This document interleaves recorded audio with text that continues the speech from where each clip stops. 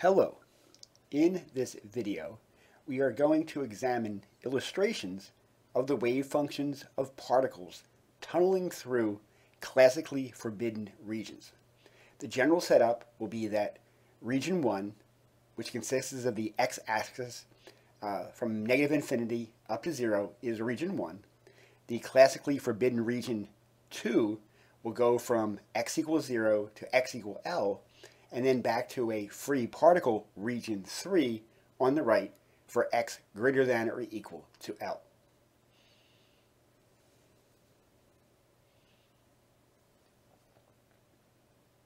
In figure 1, the particle in question is an electron that has the average kinetic energy of a particle at 300 degrees Kelvin.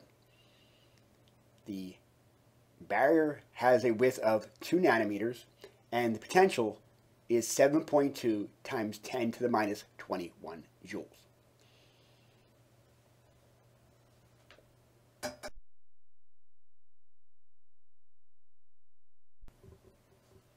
Table 1 summarizes important parameters for the wave functions that will be examined in this video. In particular, it gives the explicit form of the wave functions in the different regions, regions 1, 2, and 3.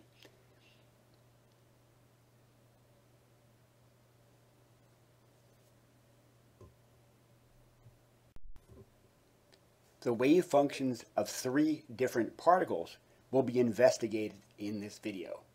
The first wave functions will concern the electron. The second set will refer to a proton, otherwise known as H plus in chemistry. And finally, the alpha particle, He2+. Notice that the mass of the particle gets increasingly larger as we go from the electron to the proton to the alpha particle.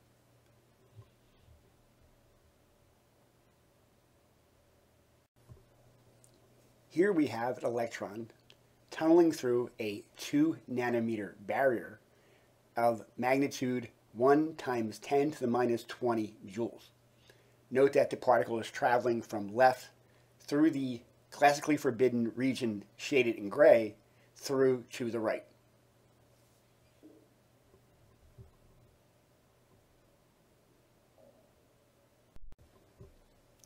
In figure 3, again, we have an electron at 300 degrees Kelvin tunneling through a barrier 2 nanometers wide. Note that in this case, the potential is 1.5 times 10 to the minus 20 joules. By comparing with figures 1 and 2, we notice that for the same size barrier width, as we increase the potential, the likelihood of the particle tunneling through becomes smaller and smaller.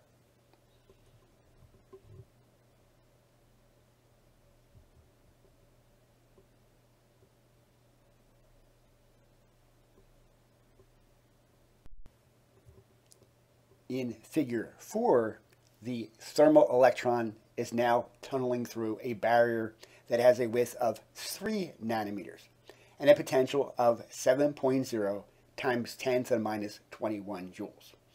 In this figure and succeeding figures, it allows us to compare the effect of the change in the width of the classically forbidden region on the likelihood that the particle will tunnel through the barrier.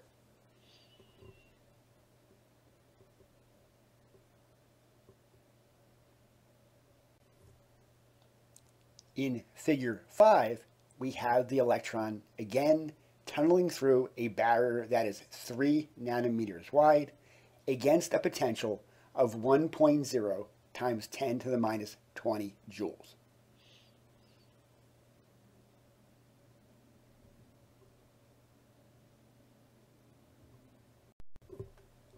In the next four figures, the tunneling particle will be a proton. H+, which is chemically relevant to Bronsted-Lowry chemical reactions of an acid-base sort. Note in the figures, uh, the next four figures, that the tunneling barrier is smaller than in the case of the electron. Here, the barrier width is 1 angstrom, 10 to the minus 10 meters. And also note that the potentials are smaller. In figure 6, the potential is 6 times 10 to the minus 21 joules.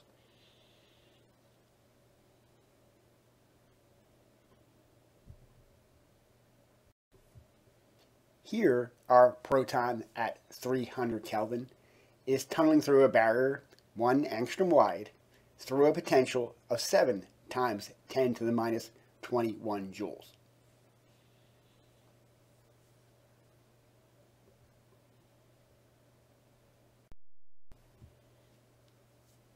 In figure 8, the proton is tunneling through a barrier of 1 angstrom through a potential of 8 times 10 to the minus 21 joules.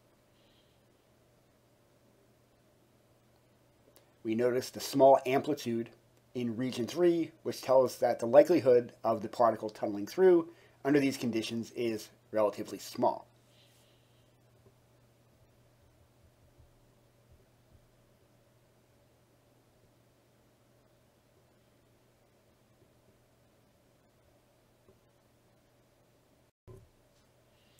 In figure 9, the proton is tunneling through a barrier with a potential of 9 times 10 to the minus 21 joules. By comparison with the case for the electron, we notice that the proton is tunneling through a much thinner barrier against smaller potentials to have an equivalent likelihood of tunneling, thereby showing the effect of mass on the tunneling probability.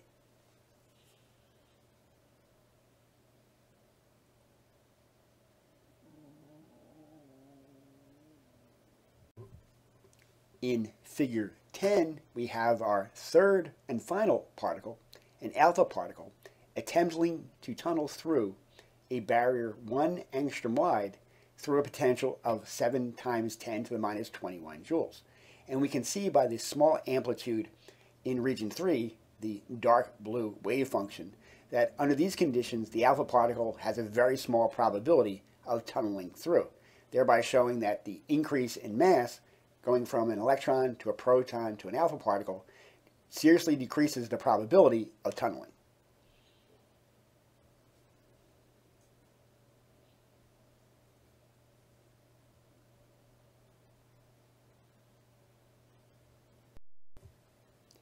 In conclusion, we display the equation to calculate the transmission probability for the particle to tunnel through the barrier which can be calculated as the ratio of the square of the modulus of the coefficient f to the square of the modulus of the coefficient a.